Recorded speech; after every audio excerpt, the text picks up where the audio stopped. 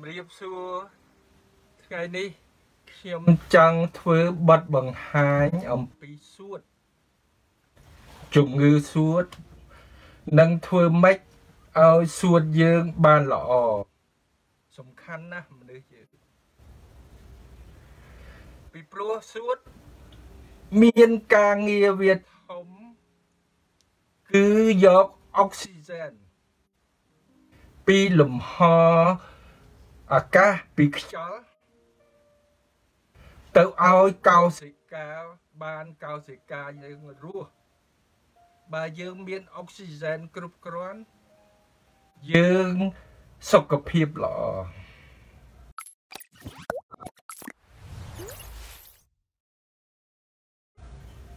ហើយមួយទៀតយើងត្រូវដឹងវាយកហៅ gas carbonic គេហៅ CO2 ទៅបញ្ចេញចោលអញ្ចឹងហើយបានជាបើយើងនៅចិត្តដើមឈើពេលយប់វាបញ្ចេញចោលពេលថ្ងៃអញ្ចឹងវាប្រជ្រះជាមួយយើងព្រោះដើមឈើវាត្រូវការ gas carbonic ហើយនឹងអុកស៊ីហ្សែនដែរប៉ិនពីជ្រះជាមួយមនុស្ស កាលណាយើងចោល gas carbonic ឲ្យមានអាស៊ីតនៅក្នុងខ្លួនយើងយើងស្លាប់អញ្ចឹង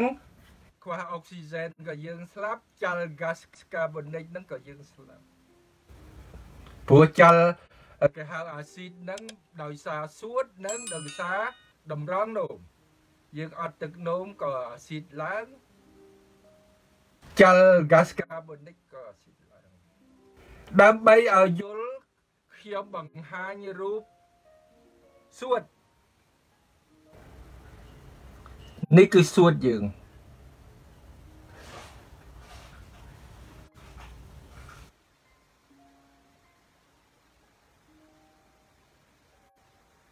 យើងដកដង្ហើមមួយមួយឲ្យបានវែង ក៏ប៉ុន្តែនៅពេលដែលយើង ធ្វើការយើងហត់ដកដង្ហើមយើងញាប់ហើយមិននេះទេព្រោះយើងត្រូវការអុកស៊ីហ្សែនច្រើនដើម្បីដឹងយើងទៅដឹងថាសួតវាមានអីខ្លះ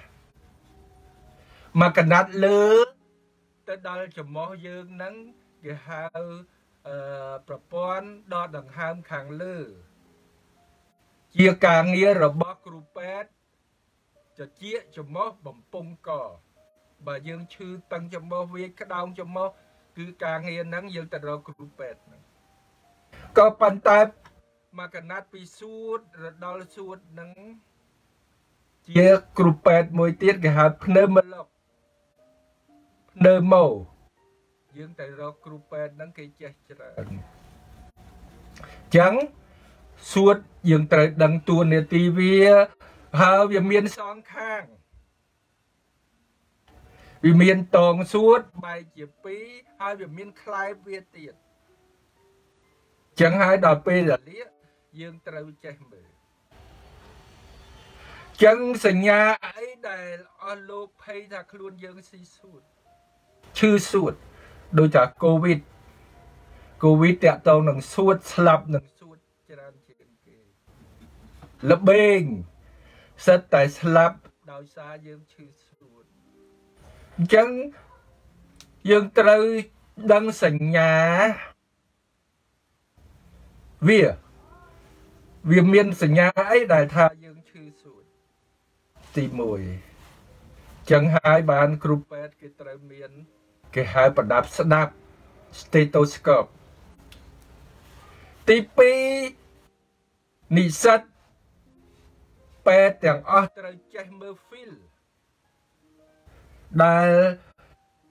យើងស្គាល់ស្គាល់យូរហើយតាំងពីខ្ញុំរៀនពេទ្យមកនរណាមិនចេះមើល feel គឺមិនអាចដឹងទេព្រោះលបែងខុសជាមួយ ទឹកស្រោមសួតខុសជាមួយ ខ្យល់នៅស្រោមសួតចឹងមានជំងឺច្រើននៅសួត បងប្អូនត្រូវដឹង ហើយបើយើងចង់ច្បាស់ទៀតគេធ្វើ scanner គេធ្វើ ERM សួតនឹងហើយគេមើលកំហាគេមើល slash ចឹងដំបូងមកអស់បងប្អូនត្រូវចាប់អារម្មណ៍ថាក្អក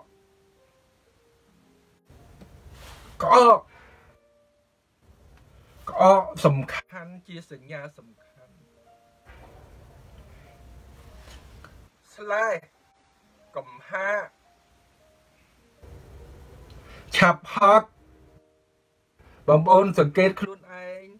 ឆាប់ហត់ហើយបើបើខ្លាំងទៀតមានស្វាយស្វាយដៃស្វាយចុងដៃស្វាយចុងជើងចឹងឈឺសួត គេចែកចេញជាភ្លាមភ្លាម ដូចក្នុង4 10ថ្ងៃហ្នឹងគេហៅភ្លាមភ្លាមឬក៏រ៉ាំរ៉ៃរ៉ាំរ៉ៃបងប្អូនចំណាំតែឃើញថាណាស្គមណាក្អកខេះខេះខេះខេះហ្នឹងកៅឈឺសួតរ៉ាំរ៉ៃគេប្រយ័ត្នណាស់ត្រូវតែថតមួយពីព្រោះស្ដាប់ជួនកាលមិនបានដឹងអស់ទេអញ្ចឹងរោគសញ្ញាអស់ហ្នឹងហើយបើខ្លាំង មានធ្លាក់ធ្លាក់ឈាម កំហាកយើងមានឈាមបងប្អូនសង្កេតកាលណាមានកំហាកមានដោឈាមប្រយ័ត្នវាមានដាច់អីមួយអញ្ចឹងសួតវាតាក់តងនឹងបេះដូងអ្នកខ្លះឈឺបេះដូងក៏ឲ្យទៅសួតអ្នកសាឈឺតងសួតយើងភ័យយើងថាសួតអញ្ចឹងយើងមានអឺ គំនិតច្រើន ដើម្បីយល់អំពីសួតអញ្ចឹងរោគសញ្ញាដែលខ្ញុំជម្រាបនេះ យើងត្រូវតែទៅថតអត់អត់ថ្លៃទេបងប្អូនប្រហែលជា30000រៀលឬក៏40000រៀលថតតែពីមុខបើគ្រូពេទ្យគេឲ្យថតជាចំហៀងគេធ្វើអីទៀតប៉ុន្តែដំបូងអស់ថតពីមុខ ហើយគ្រូពេទ្យដែលនៅកន្លែងថតហ្នឹងគេបញ្ជាក់ឲ្យហើយសួតល្អសួតមិនល្អតងសួតឬក៏មានបញ្ហាអីណាចាំយើងជួបគ្រូពេទ្យគ្រូពេទ្យជំងឺទូទៅចេះមើលហើយហើយបងប្អូនត្រូវចេះមើល feel ចាំខ្ញុំបង្រៀនខ្លះសិស្សខ្លះមិនទាន់ចេះមើល feel feel ហ្នឹងគេហៅ negative ខ្មៅទៅសសទៅជាខ្មៅបើឆ្អឹងឃើញសសួតឃើញខ្មៅចឹងឈឺសួតដំបូងដែលខ្ញុំនឹងបកស្រាយនេះគេហៅលបែងលបែងសួតដែលមេរោគរបស់វាគេហៅបេកាបាស៊ីដេកុកមានរោគសញ្ញាស្គមក្អក រីងរៃយើងហៅក្អករីងរៃជួនកាលកាអាចធ្លាក់ឈាមក្តៅពេលល្ងាចស្ទិញសាច់ឲ្យស្ទិញពេលល្ងាចហ្នឹងក្តៅស្គមយើងត្រូវដឹងព្រោះជំងឺនេះឆ្លងឆ្លងទៅកូនឆ្លងទៅចៅជំងឺឆ្លងលបែងគឺជាជំងឺឆ្លងហើយ មានគេហៅវិជាស្ថានមួយកំចាត់រោគរបេងហ្នឹងបើយើងសង្ស័យយើងទៅកន្លែងនៅចិត្តពេទ្យចិននៅចិត្តសាលាយុគន្ធរបងប្អូនទៅគេនឹងអាចឬក៏គ្រូពេទ្យណាក៏អាចចេះធ្វើយើងសុំថតសួតហើយគេសង្ស័យគេបញ្ជូនមកហ្នឹងគេបើកថ្នាំឲ្យហើយ គេធ្វើទៅបណ្ដាញគេតាមស្រុកអីគេបើកថ្នាំឲ្យហើយថ្នាំវាតែ4ទេតាំងពីខ្ញុំរៀនមកមានស្រាប់តូស្រាប់តូហ្នឹងគេទុកគេហៅពេលណាវាយវាបញ្ជាគឺ isoniazid គេហៅ ENH rifampicin PZA និង ethambutol ហើយគេគិតតាមគីឡូទៀតនិស្សិត ត្រូវតែចេះគ្រូពេទ្យត្រូវចេះឲ្យត្រូវគីឡូទៀតបានលេបជាប៉ុន្តែ គេផ្គុំ4ហ្នឹងគេផ្គុំ2ខែ4មុខ6ខែ2មុខអញ្ចឹងហើយបានគេមិនឲ្យលក់ព្រោះខ្មែរយើងចេះតែទៅទិញញ៉ាំប្រេះផ្ដាស់វាស្គាល់ថ្នាំហើយជប៉ុនបានធ្វើកម្មវិធីមួយឲ្យពេទ្យជីកកង់ទៅដល់ដល់ផ្ទះ ដាក់ទឹកលេបថ្នាំមុខអានឹងបានជាព្រោះថ្នាំច្រើនពេកមកកបងបងប្អូនដូចថ្នាំល្បែងមកកបងប៉ិនក្រោយមកគេបញ្ចូលគ្នាបញ្ចូលគ្នា3មុខ3ទៅបានជាយើងត្រូវតែតាមដានហើយយើងត្រូវប្រយ័ត្នមានកថោរៀងខ្លួនបើបានព្យាបាល3 4ខែហើយមិនស្អីឆ្លងទេហើយឆ្លងខ្លាំងនៅពេលដែលសួតយើងប្រហោង គេហៅថតមកឃើញកាវាំងចឹងយើងប្រយ័ត្នឆ្លងកូនចៅយើងឆ្លងអ្នកនៅក្នុងផ្ទះយើងរស់នៅត្រូវបើកទ្វារយើងត្រូវមានពន្លឺយើងត្រូវថែខ្លួនយើងរៀបលេបថ្នាំខ្ញុំសង្កេតឃើញក្រោម60អាចជាបាទឈឺថ្មីថ្មីតែអាយុច្រើនវាពុលនឹងឆ្នាំហើយប្របាក់ព្យាបាលហើយហើយស៊ីយូហើយប្របាក់ព្យាបាលអញ្ចឹងលបែងជាជំងឺមួយធំ តាំងពីអ្នកណាក៏ខ្លាចដែរលបែងនេះ tuberculosis tuberculosis ទី2យើងហៅថារលាកសាច់សួតយើងហៅថាភ្នើម៉ូញ៉ាភ្នើម៉ូនីបញ្ហាធំណាស់បងប្អូនអាលៀកសាច់សួតនេះដូចកូវីដអាលៀកសាច់សួត មេរោគអាលៀកសាច់សួតអឺមេរោគជាពិសេសគេហៅភ្នើម៉ូកុកមេរោគហ្នឹងវាស៊ីតែនៅសួតហ្នឹងភ្នើម៉ូកុកអញ្ចឹងបងប្អូនប្រយ័ត្នបើសង្ស័យត្រូវតែទៅថតទៅមើលឈាមទៅមើលកំហាភ្នំម៉ូនីអាចស៊ីមកផ្ទាំងនៃខ្លែប អាចស៊ីសួតទាំងអស់បានជាកូវីដយើងពិបាកជួយពេលព្រោះចុងក្រោយនឹងខ្ញុំនឹងប្រាប់របៀបព្យាបាលដល់ពេទ្យត្រូវតែមានអីខ្លះដូចថាយើងត្រូវតែមានប្រដាប់ដកដង្ហើមយើងត្រូវតែមានគេហៅសត្វទីរ៉ូម៉ែតដាក់នៅមេដៃនេះវាស់ថាយើងបានប្រមាណហើយត្រូវមានអីសពហើយបើនៅពេទ្យធំធំគេមានម៉ាស៊ីនដកដង្ហើម សំខាន់ណាស់ហើយបើមានម៉ាស៊ីនហើយត្រូវចេះប្រើទៀតហើយបើជាសិស្សបានទៅរៀនខ្ញុំរៀនជួបខ្ញុំនៅពេទ្យកាលខ្ញុំនៅធ្វើការខ្ញុំបង្រៀនរបៀបប្រើម៉ាស៊ីនព្រោះម៉ាស៊ីននេះថ្លៃណាស់អស់លោក6 70000 100,000ក៏មានប៉ុន្តែតែមិនចេះប្រើខូចដូចឡានចឹងថ្លៃណាស់ អញ្ចឹងយើងបន្តអំពីភ្នើម៉ូនីវាអាចមកផ្ទាំងនៃសួតស៊ីច្រើនធ្វើឲ្យយើងស្វាយធ្វើឲ្យយើងដកដង្ហើមអត់គ្រប់អុកស៊ីហ្សែនស្លាប់ដូចជាកូវីដកូវីដជាជំងឺវីរ៉ាល់ស៊ីច្រើនជាងគេស្លាប់នៅសួតដែលធ្វើឲ្យគ្រូពេទ្យក៏ឆ្លងច្រើនដោយសារគ្រូពេទ្យត្រូវសកប្រដាប់ដកដង្ហើម គ្រូពេទ្យត្រូវប៉ះពាល់អ្នកជំងឺហើយកន្លែងខ្លះគេមិនទទួលអស់លោកយល់ហើយកន្លែងខ្លះគេមិនហ៊ានទទួលពីព្រោះវាឆ្លង ទី1ទី2អត់ប្រដាប់ដកដង្ហើមអត់អុកស៊ីហ្សែនយើងមិនកុំបន្ទោសពេទ្យខ្លះថាគេអត់ទទួលទេព្រោះវាបញ្ហានេះវាជាមហាឆ្លងនឹងអត់អុកស៊ីហ្សែនអញ្ចឹង លាកសួតហ្នឹងគេព្រើម៉នីហ្នឹងគឺថាដោយ virus ដូចជាផ្ដាសាយធំក៏លាកសួតកូវីដក៏លាកសួតមេរោគដែលយើងត្រូវយកកូនចៅយើងទៅចាក់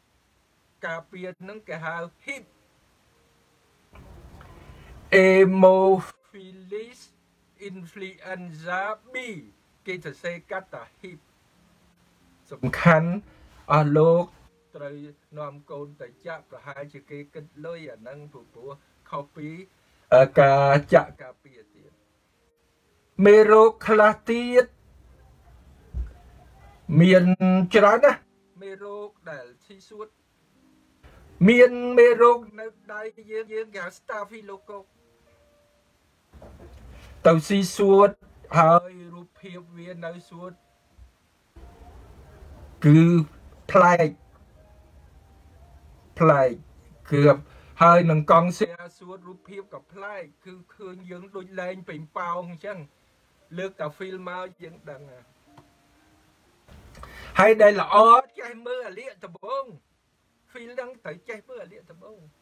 គេហៅ primo infection primo infection ដោយកូនក្មេងគេហៅ complex pleurisy តាទីកូនកដៅមួយនៅលើចុងគេហៅអាប៉ាច់អ្នកដែលអ្នកធ្វើពេទ្យតែមិនចេះមើលក្មេងហ្នឹងចេះតែក្តៅ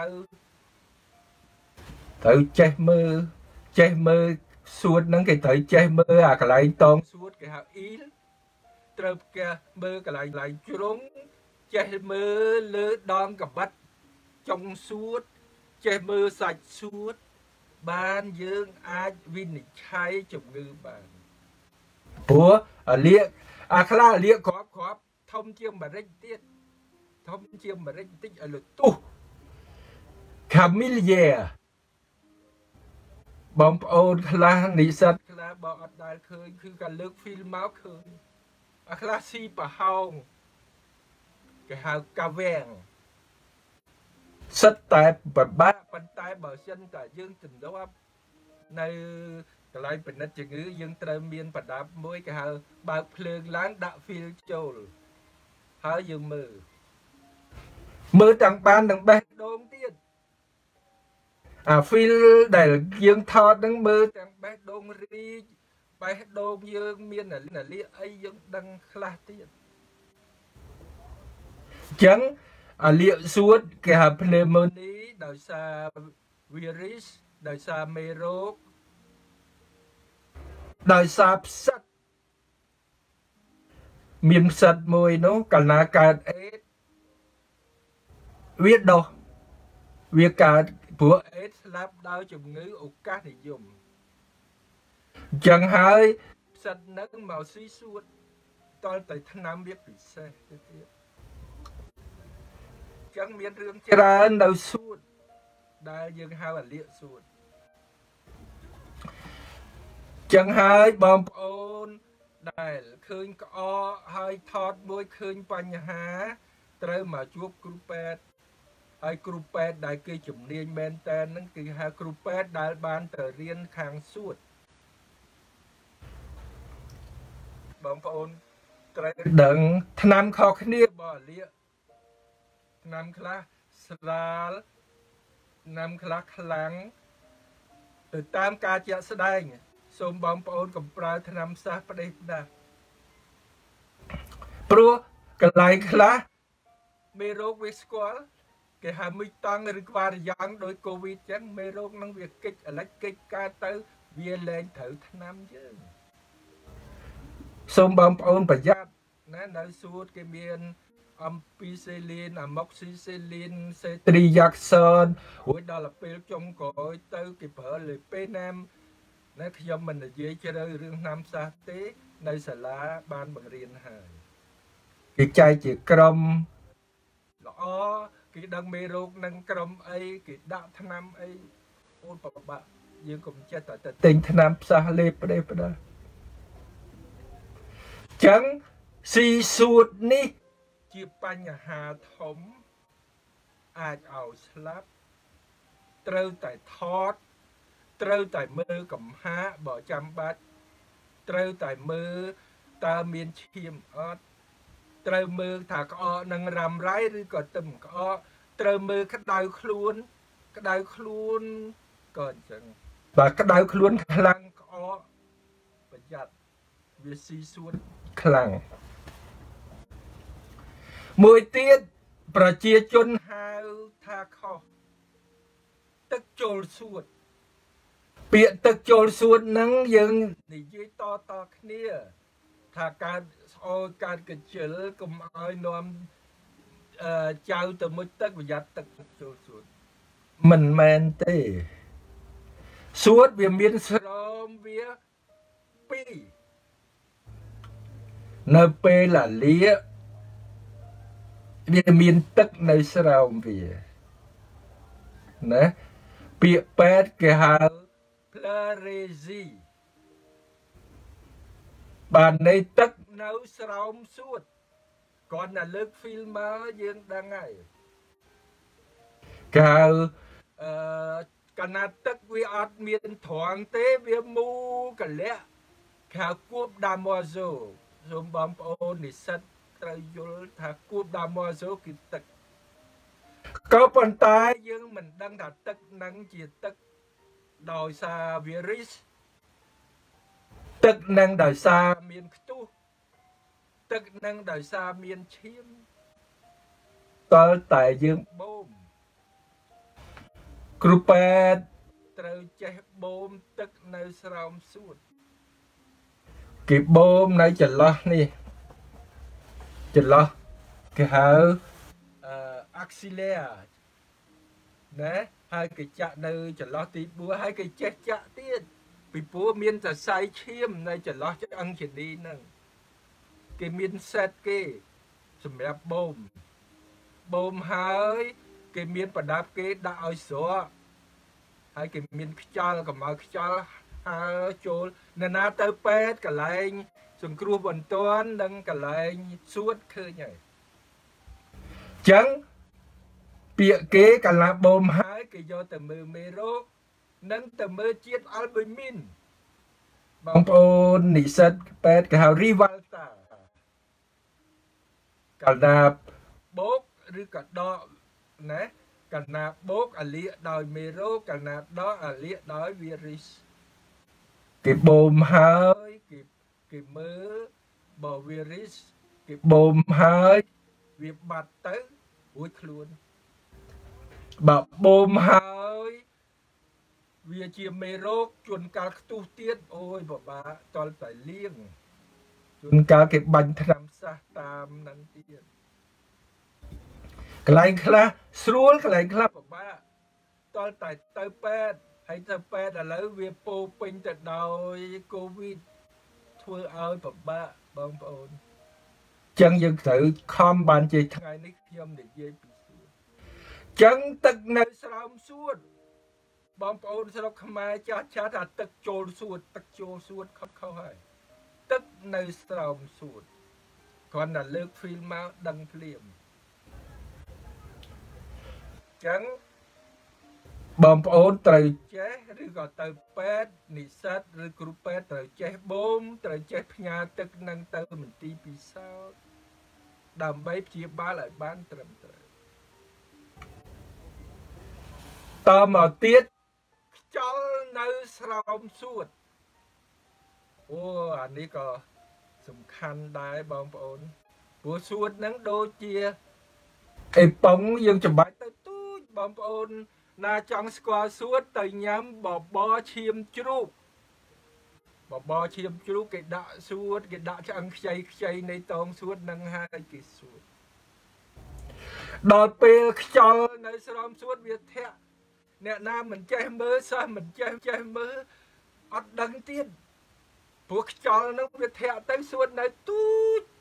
កញោមញោមអានឹងបើសិនជាសងខាងអាចស្លាប់ហើយគេហៅថាអឺបើចូលអត់ចេញវាចេះតែធាក់ចូលដូចយើងសពសពកង់អញ្ចឹងអាហ្នឹងវាសកត់សកត់ទៅយើងស្លាប់បញ្ញាប់មកពេទ្យគេចាក់បធូដូចយើងបធូកង់អញ្ចឹង គេចាក់នៅលើហៅចន្លោះទី2ណាគេចាក់ឈីតវាចេញមកយើងរួចខ្លួនហើយប៉ោងវិញ ហើយគេឲ្យយើងផ្លុំហាត់ផ្លុំពេញប៉ោងផ្លុំផ្លុំយូរយូរទៅសួតយើងប៉ោងវិញចឹងអានេះគេហៅខ្យល់នៅស្រោមសួត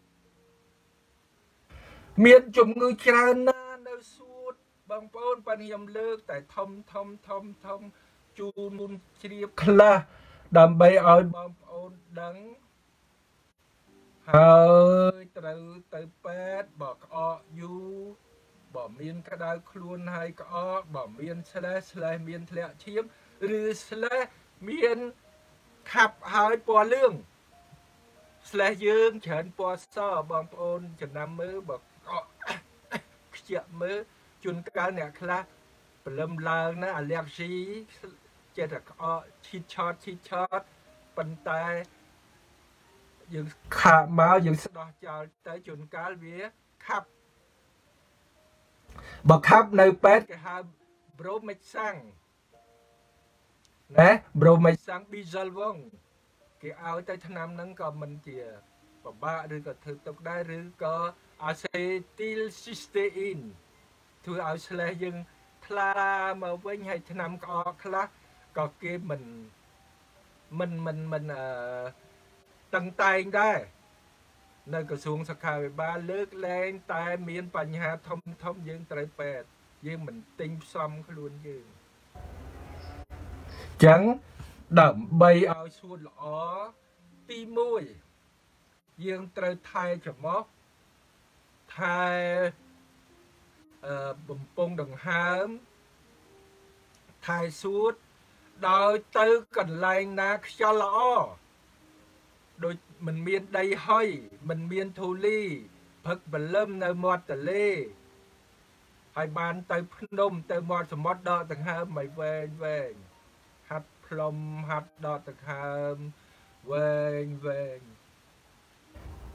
ត្រូវសម្អាតម៉ាស៊ីនត្រជាក់និងកន្ទប់ទប់យើងរាល់ថ្ងៃព្រោះតលីនឹងហើយ ហើយឲ្យមានពន្លឺចូលនិងខ្យល់ចូល បើយើងក្រយ៉ាងម៉េចក៏ដោយបន្ទប់យើងតូចក៏ដោយ យើងត្រូវតែបើកឲ្យខ្យល់ចេញចូលព្រោះមេរោគល្បែងវាចូលចិត្តកន្លែងល្ងឹតត្រូវសម្អាតរាល់ថ្ងៃអញ្ចឹងបរិស្ថានសំខាន់ហើយប៉ុន្តែខ្លួនយើងក៏សម្អាតសម្អាតដៃសម្អាតមុខសម្អាតមាត់កុំកេះច្រមុះ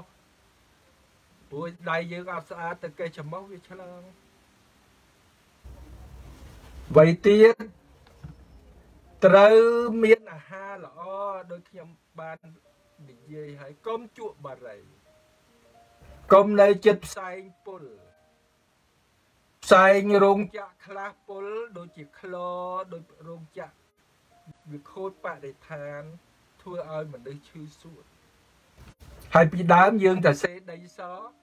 គ្រូច្រើនឈឺសួតលោកក៏ច្រើនឈឺសួរដែរប៉ែតលោកសង្ឃពីដើមព្រោះព្រោះ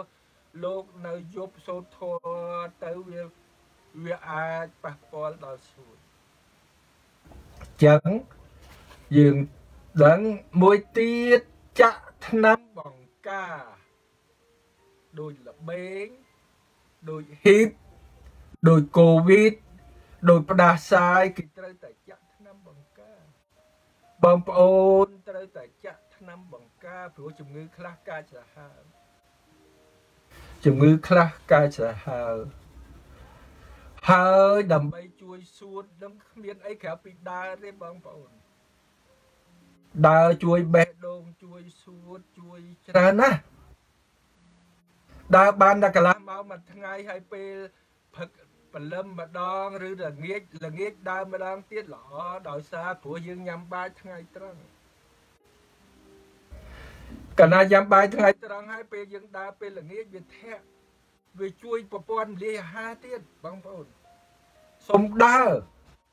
កុំភ្លេចរឿងដើរកន្លែងណាក៏ដើរបានដែរនៅតាមចិត្តផ្ទះយើងនៅតាមភូមិយើងនៅស្រុកស្រែរឹតតែល្អទៀត ដើរញ៉ាំទឹកដើរញ៉ាំទឹកយើងជួយខ្លួនយើងបានច្រើនសម្អាតត្រូវថ្ងៃត្រូវពន្លឺថ្ងៃចឹងសួតនិងបេះដូងក៏តាក់ទងគ្នា មានជំងឺបេះដូងខ្លះមកពីសួតជំងឺសួតខ្លះមកពីបេះដូងគ្រូពេទ្យដឹងហើយគេហៅពូម៉ុងកាយៈកើពុលមនេអាហ្នឹងខ្ញុំមិនបញ្យល់ច្រើនទេហើយសួតសំ ខាន់ជាងគេហ្នឹងគឺស្អីគេគេហៅ alveol អ្នករៀនពេទ្យទៅស្គាល់ alveol វាឆ្លងអុកស៊ីហ្សែននៅកន្លែងហ្នឹង pression បើយើងអត់ចេះ physics ទេរូបវិទ្យាទេយើងពិបាកយល់ pression គេហៅ pression គេហៅអឺសម្ពាធបាទព្រោះ អ្នកឥឡូវគេរៀនខេមរៈយន្តកម្មលោកគ្រូពីដើមរៀនជាភាសាបារាំងជាភាសាអង់គ្លេស pression atmospheric មាន760ហើយបាន pression oxygen មាន1ភាគ5ព្រោះមាន azote មាន4ភាគ5ក្រៅពីនឹងមានគេហៅ gas ra argon neon helium ប៉ុន្តែកន្លែងខ្លះវាជ្រៅពេកដល់កន្លែង alveol ហ្នឹងវាធាក់ទៅអាមួយវាធាក់មក ហើយវាមានពាក្យគេកៅសៀកហ្វាក់តង់អ្នករៀនពេទ្យបានស្គាល់អាហ្នឹងធ្វើឲ្យកុំឲ្យអាអាហ្នឹងវាកញោមអា alveol សៀកហ្វាក់តង់អញ្ចឹងម៉ាស៊ីនដកដង្ហើមគ្រូពេទ្យដែលចេះគេមានម៉ូតម៉ូតពីម៉ូត NAP positive and expiratory pressure ពី negative and expiratory pressure សិតតែពិបាក volume គួររងមនុស្សត្រូវដកដង្ហើមមកនោះគេម៉ាស៊ីនហ្នឹងបើបើគេត្រូវចេះមានអាកន្លែងគេមូលអញ្ចឹងគេមានស៊ូពីបងប្អូនដែលដកដង្ហើមធំហ៎កាលហ្នឹងគេហៅស៊ូពីយើងហៅដកដង្ហើមធំអាម៉ាស៊ីនហ្នឹងក៏វាចេះគាត់នៅវាខុស យើងដកដង្ហើមប្រេសស្យុងយើងទាញទៅ ដល់អាម៉ាស៊ីនប្រេសស្យុងវារុញអញ្ចឹងហើយបានកន្លែងខ្លះពិបាកដែរតលអ្នកឯងចេះ physics ចេះរូបវិទ្យាច្រើនបានបញ្យល់យល់អញ្ចឹងខ្ញុំនិយាយបន្តិចបន្តិចទេកុំឲ្យគ្រូពេទ្យខ្លះមិនបានរៀនស្ដាប់មិនយល់អញ្ចឹងសួតត្រូវការពារដោយញ៉ាំទឹកច្រើនត្រូវការពារដោយ ដង្ហើមបរិស្ថាន ថែសួតគឺមនុស្សទាំងអស់គ្នាត្រូវថែបរិស្ថានហ្នឹងហើយស្អុយធំក្លឧបមាធ្លាយរោងចាក់ក្លមកយើងនៅចិត្តយើងខូចសួតចឹងបានសួតជាសំខាន់គឺអ្នកបរិស្ថានក៏ត្រូវតែជួយយើងក៏ត្រូវតែជួយ ត្រូវពន្លឺថ្ងៃដកដង្ហើមឲ្យបានវែងវែងហើយបើដកដង្ហើមតាមច្រមុះវាមានកន្លែងវាកម្ដៅចូលទៅសួតអ្នកខ្លះគេងចំហមាត់អញ្ចឹងហើយច្រើនតែមានស្លេះពីព្រោះយើងអត់ដឹងដល់យប់ទៅចំហមាត់ឬសមុកមកគ្រុលគ្រុលជាពិសេសអ្នកថតហើយអ្នកថតដែល គេភ័យនឹងគេហៅ apnea respirator សមុកទៅខុលខុលទៅបាត់បាត់ស្រាប់តែពេលដល់ដង្ហើមឡើងវិញខឹកខឹកខឹកខឹកហើយបើមានប្រពន្ធអីនៅចិត្តនឹងស្រែកទៅដាស់គាត់ទៅទៅគាត់ដកដង្ហើម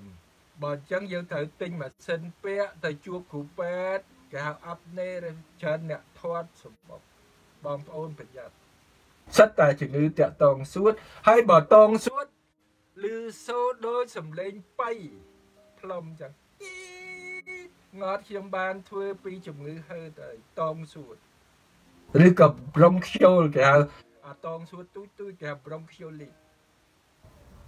ចឹងតងសួតក៏មានជំងឺវាច្រើនប៉ុន្តែយើងនិយាយថ្ងៃនេះតែសួតសួតហើយតងសួតហើយស្អីហ្នឹងវាជាមួយគ្នាស្រោមសួតប៉ុន្តែ យើងនិយាយធំចំពោះសួតតងសួតខ្ញុំបានធ្វើហើយអំពីជំងឺហឺតបងប្អូនត្រូវថែសួតទាំងខ្ញុំទាំងបងប្អូនបើស្រឡាញ់ខ្លួនកុំជក់បាត់ហើយឬក៏យើងទ្រាំបានយើងថាយើងផ្លុំចេញមានគេធ្វើការពិសោធន៍ច្រើនណាស់អំពីបាត់ហើយអញ្ចឹង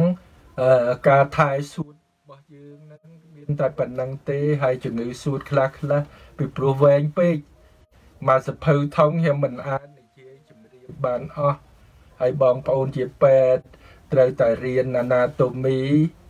រៀន physiology រៀន histology ព្រោះនៅសួននឹងត្រូវចេះ histo ទៀតបានយើងបកកែឲ្យរៀន pathology រៀន therapeutic អូវែងណាស់ មកសភៅសួតក៏ប៉ុន្តែខ្ញុំសង្ខេបខ្លីៗ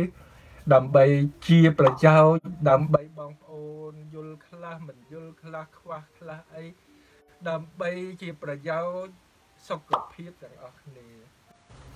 សូមអរគុណសូមជម្រាបលាសូមអរគុណ